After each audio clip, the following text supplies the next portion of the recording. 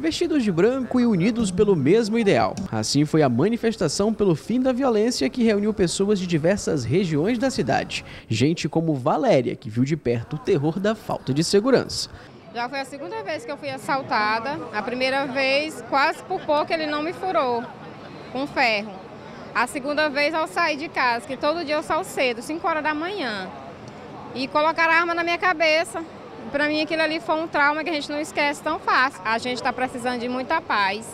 Teresina está muito violenta, minha gente. E a primeira edição da Marcha Profética traz o tema Teresina nas mãos de Deus, que reúne caminhantes pedindo uma cidade mais espiritualizada e com mais segurança. É uma forma de a gente declarar é, o que vai acontecer, é profetizar do que vai acontecer daqui para frente. Teresina nas mãos de Deus, unidos pela paz. Então, nós temos esses dois objetivos, é de, como, como é religiosos, é declarar que Teresina está nas mãos de Deus. E é isso que está faltando para o nosso povo, está nas mãos de Deus. Aquele que vive nas mãos de Deus não tem uma, uma, não leva uma vida como a gente tem visto, jovens se matando, tanta violência, tanta criminalidade.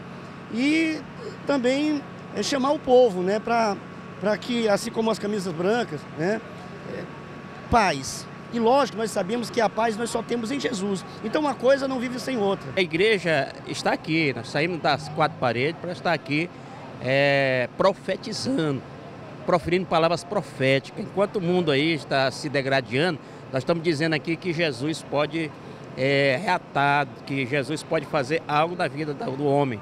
Isso é o dever da igreja.